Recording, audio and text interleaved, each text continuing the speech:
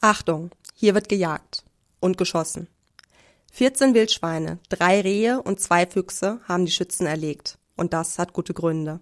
A haben wir hier Schäden in der Forst- und Landwirtschaft, die in der Regel der Jäger auch bezahlen muss. Äh, wenn es wir nicht machen würden, irgendeiner muss es bezahlen und wir haben auch keine richtige Natur mehr. Dementsprechend passt das ganze Verhältnis miteinander nicht mehr.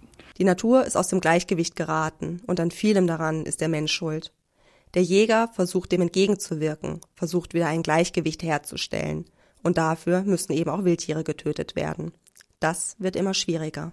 Das Wild ist mittlerweile heimlicher geworden durch verschiedene Ursachen, äh, durch Forstung, Freizeitdruck, äh, freilaufende Hunde, Radfahrer, E-Bikes etc. pp. und zieht sich immer mehr zurück, so dass es sehr schwer, fast gar nicht mehr normal zu bejagen ist. Unter einer normalen Jagd stellt man sich den Jäger nachts im Wald auf seinem Hochsitz vor. Er wartet und wartet und wenn er Glück hat, erscheinen auf der Lichtung Tiere.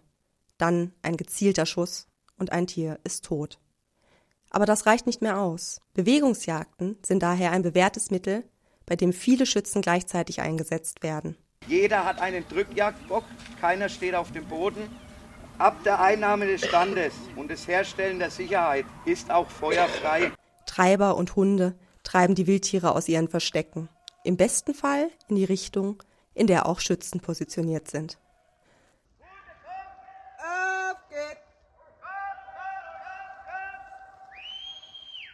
Eine Drückjagd ist eine Jagd, in der Wild auf die Läufe gebracht wird, indem es durch Treiber und oder Hunde aus der Dickung getrieben wird.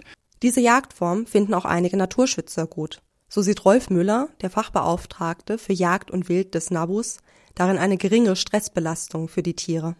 Drückjagden sind grundsätzlich ein wichtiges und richtiges Mittel im Wildtiermanagement. Die jagdliche Störung wird auf einen Vormittag beschränkt und erstreckt sich nicht über mehrere Tage, wie es bei Ansitzjagden der Fall ist. Wichtig ist, dass die Jägerinnen und Jäger ihr Handwerk verstehen, damit die Tiere nicht leiden müssen. Grundsätzlich sind Jagden notwendig, um in unseren anthropogen geprägten Wäldern naturnahes Arbeiten der Förster möglich zu machen.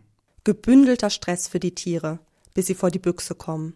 Und dann muss der Schuss sitzen. Eine Drückjagd ist nicht stressfrei. Das wäre gelogen, wenn ich das jetzt sagen würde. Aber wir tun alles Menschenmögliche, um sie so stressfrei als möglich zu halten. Wer über das Weiterleben eines Tieres entscheidet, muss verantwortungsvoll, respektvoll und wohlüberlegt handeln. Er denkt nicht nur an das zu jagende Wild, sondern auch an seine Mitschützen, an die Umgebung, an die Natur und auch an die anderen Tiere, die im Wald leben. Andere Tiere sind definitiv nicht in Gefahr. Grundsätzlich weiß der Jäger, wo drauf er schießt. Nur dann, wenn ich es klar ansprechen kann, darf ich auch schießen. Ja, heute hatten wir die Freigabe Rehwild, Schwarzwild, Waschbären, Füchse und Enok. Ja, alles andere war nicht frei und dementsprechend bleibt der Finger lang. Bei der Drückjagd in Steinfurt waren 47 Schützen, drei Hundemeuten und 28 Treiber im Einsatz. Erlegt wurden an diesem Tag 14 Wildschweine, drei Rehe und zwei Füchse, die anschließend ausgeweidet wurden. Um die Tiere zu ehren, wird am Ende einer Jagd Strecke gelegt. Das heißt, die erlegten Tiere werden auf Tannenreisig gelegt und Schwedenfeuer entzündet. Die Jagdhornspieler blasen dann das Ende der Jagd.